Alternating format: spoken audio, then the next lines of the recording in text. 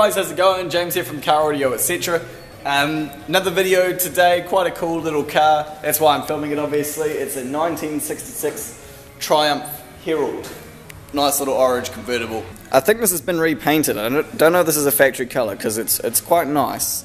It's still got scuffs on it and stuff. I don't know, maybe it's just been garaged. Maybe it's been, you know, just kept or restored. It is cool. And it's convertible as well. Okay, so what we're thinking of doing is uh, I'm probably going to be installing a Pioneer MVH X385 in the glove box here. He wants it to be hidden away so that um, when he parks it up with the top down, it doesn't look like a target for theft. So just in here, it's just going to like, I'm just going to mount it up in here somewhere so that it's out of the way. And then for speakers, initially he was talking four speakers, but at the moment I think we're down to two, um, just because of, just because of price. But um, I'm hoping to talk him back up to four speakers. I'm looking at putting it's a bit hard to see because of the light, but I'm looking at putting some Type R's down in the kick panels there. I'll build a custom panel for that side. And this side's already got a panel on it, but I'm going to take that off and replace it. And there's a speaker that's already in there that isn't being used, so that'll come out. I'll build a new panel and put a Type R in there. What we were thinking of doing for the back speakers is completely covering up this whole gap here with a panel and putting a Type R on there, and then obviously the same on the driver's side. But I think just because, um, you know, I was saying to him, it is obviously a custom installation, they take longer, cost a bit more. He didn't want to spend too much on it. Um, this is just like his, his nice sort of toy car. It's not like, uh, it's not, he doesn't want to spend a whole heap on it, which is fine. It's, it's totally up to him. So that's what we're doing to the vehicle. Um, I'm not going to film it, you know, too terribly in depth or like, you know, detailed. I'm probably just going to, you know, show you bits and pieces here and there of where I'm up to and how I've done it.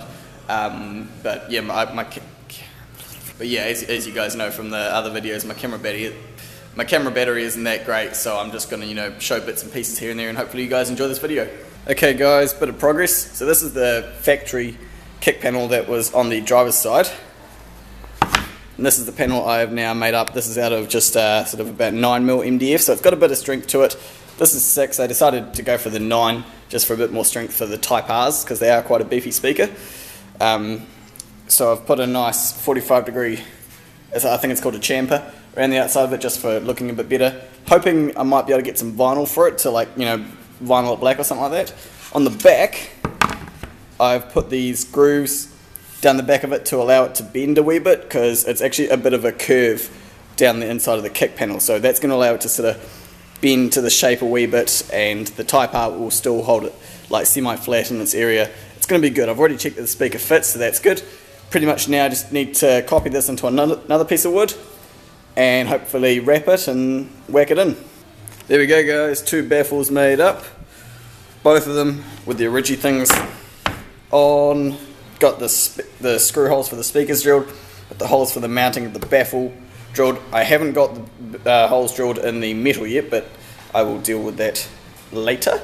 Just going to go across the road to our upholsterer and see if he's got any spare black Oh wait, no, I'm not going to use vinyl. I'm going to use carpet. I'm not using vinyl, I'm going to use carpet because the floor is black carpet, like, and everything, like, everything else in the car is pretty much black carpet, and also it'll hide the screws better and like marks and things like that hide up a lot better as well. So that's what we're going to do. I'm going to carpet those. Mean. So I'm going to spray some glue on them, put some carpet on, and while it's drying, I'm going to, you know, try and do something else.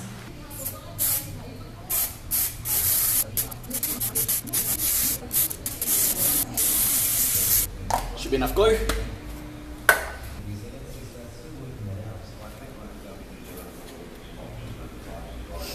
There we go, there's one.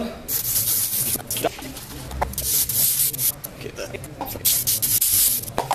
Wait about five or ten seconds.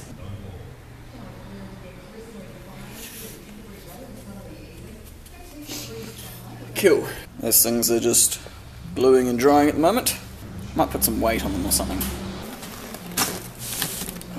There we go. This is going to keep them down flat. Cool. Just discovered something totally cool about this orange car. It's a bit Dukes of Hazzardy. Whoop. Down the front there are all air horns. There's a rocker switch in here. If I flick this or hold it,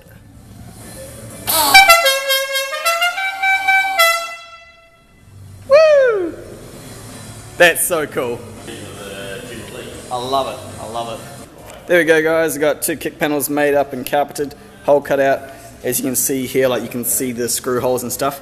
The way I do that is um, I just use my awl, poke it through from the back so I can locate it under the carpet, and then I just gently stick my soldering iron into the hole, and that uh, just melts a little section around where the hole is and makes it real easy to locate it for the screws. So I haven't put holes in the metal yet, but I'm going to wait until the wires all run and I'm putting the kick panels in and then I'll drill the holes, put the screws in, put the speakers in and it'll be good. Grant's just working on the stereo loom. Okay, most of the wire running is done.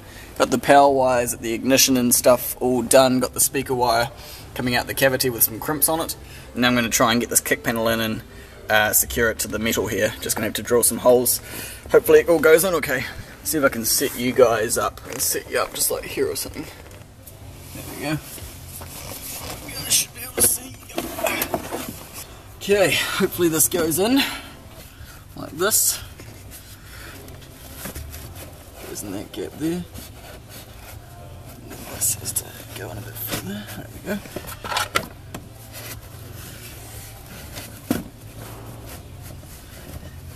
Okay. Oh, hold on guys, I'm getting a call. Right, okay. So, yep, it's all in there, looks pretty good. Obviously, like, there's a big gap here, but the whole point of those slots in the back is for me to now be able to, I can, like, bend that up like that, which is good. So I'm gonna use the drill, put some holes in the middle, and start sort of using the screws to torque it down. It'll be good. Okay, hopefully this works. Start with, start at the top, the closest one so because it's going to be the most accurate. Maybe I'll just make some marks for now or something. So yeah, what I'm doing now is I'm just holding it as tight as I can and using the drill to make some marks on the metal and then I'll get this back out and drill it properly.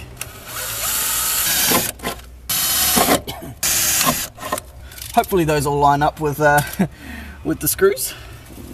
We shall find out. This one back in. Now let's get some screws. Let's see. I'm I'm gonna get all of them just touching their holes.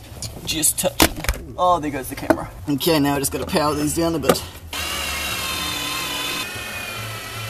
There we go. I think that looks pretty fucking mean. There we go, guys. That completely pulled that gap that was behind there down.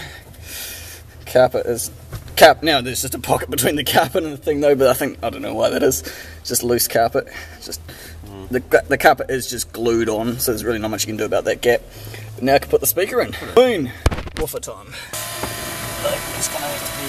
There we go, guys. I got one in. Nice. Not sure how it's going to sound yet, but looks pretty good. See, yeah, this is what I was talking about, like black carpet everywhere, black carpet kick panels, and a nice big woofer there. And it's up out of the way of the accelerator as well, so we know it's not going to get hit by that or anything like that. I'm quite happy. You happy, Grant? Peel off the uh, Nice shiny sticky stick. Come on.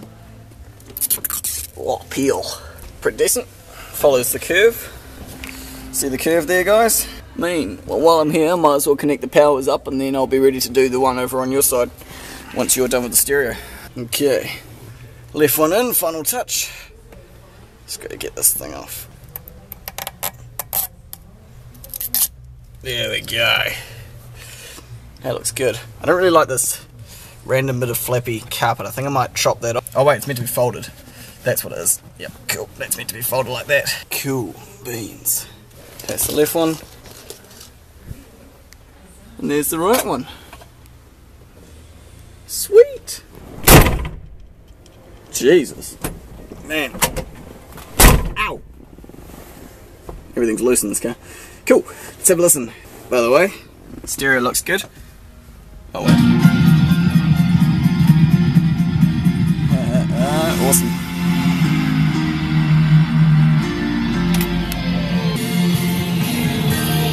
One,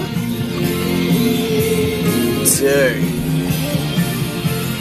Let's see how good this sounds. I think we need probably something a bit more funky.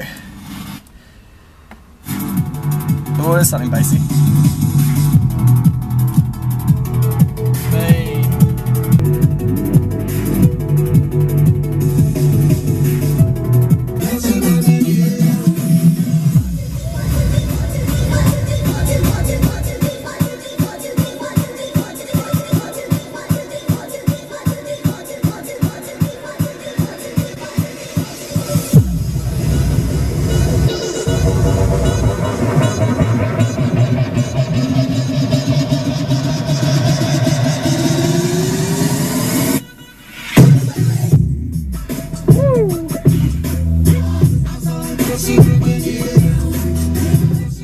Sound quality wise, it um sounds mint. It's clear, crisp. There's good treble, good good mid, really, really, really good mid bass. Very little uh, sub bass, but obviously that's because you're talking about two six-inch speakers in quite con quite constrictive cavities, not much air around them, so very little sub bass. I'm thinking maybe with two more speakers in the back here, that kind of pressure from the rear combined with the front would allow that to come through a wee bit more because um, at the moment all that bass is sort of coming towards me and then just going straight past me and probably going out the out the plastic window. But if we had the speakers behind as well, we might get more of a a bit more SPL where it's like you know the sound pressurizes into a cavity. But it is a convertible. Sounds good, sounds good. Something else we did is we got this USB cable here so that you can just like plug into the USB input and then he's got a female USB socket down here now so he can just plug his phone in there or his memory stick or whatever. Um, unfortunately though this doesn't close with the with the cable there. This stereo is as far back as it can possibly go and it's a mechless one so it's actually shallower than normal. If it was a stereo that had a CD player as well it would be even further forwards. There's not much we can do about that. Um, he may have to get like a little right angle adapter or something like that. I mean it, it comes like you can actually like get it to close all the way up and it's not too and like it's focus focus. There we go. So yeah you can get this to like close all the way up flush but um, unfortunately this little latch thing that is supposed to it's like loose there's not nothing we can do about it because of the way it's uh, secured. So this doesn't even even when this is off oops even when we've got that hanging down there this closes but it it doesn't like latch. So there's nothing we can do about that Possibly what we could do is like scallop out a piece of wood here, but I think we'll leave that up to him since it's, it's his car and it's quite nice. So he could like file that down so that this isn't in the way. But it's good. All in all, worked out really well. I'm, I'm stoked. I hope he's stoked as well. And, we and I'm quite happy that we also managed to, oh come on focus. The autofocus on this camera is terrible guys, I need a new one. We also managed to get it um, on accessory as well, so this car has like, so straight up and down is like key out and then it's got left for accessory and then right is ignition. So it's good because it works both ways. Cool! Right I've sat in here long enough. Okay there we go. You guys are probably vibrating. I think we're in reverse. Yep. Okay well sorry about the vibrations guys. I just got you on the dash. Um, thanks for, for watching this video. I've enjoyed making it. It's been a cool little car to work on, a fun little project. Hopefully he's going to come back for rear speakers. Um, the, again, the only reason we didn't do them is, and we probably wouldn't have had time to now anyway, is just because he didn't want to spend too much on it, which is fine. Here we go, here we go. She's rattly. Come on, there we go, there's reverse. Reverse is a bit hard to find, but we'll get there in the end. Ooh, we're going to stall. Ah, alright. Oh. He's got a racing steering wheel in here and no power steering, so it's quite hard to maneuver. Go, now we're almost in line. Okay, one more toot for fun.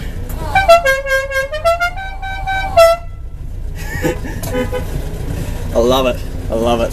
Alrighty. Yeah, as I was saying before guys, thanks for watching this video, I hope you enjoyed it. If there was uh, something you particularly liked about the video or if you want to see me do more stuff like this as always you know leave me questions drop me comments I, I don't mind answering. And also I've been really interested to um, know because YouTube kind of tells you but I'm not that good at reading the analytics of it.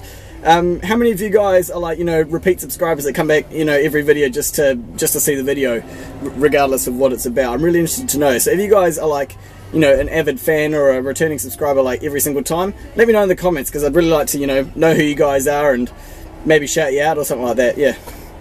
So thanks for watching this video guys, and I'll catch you in the next one.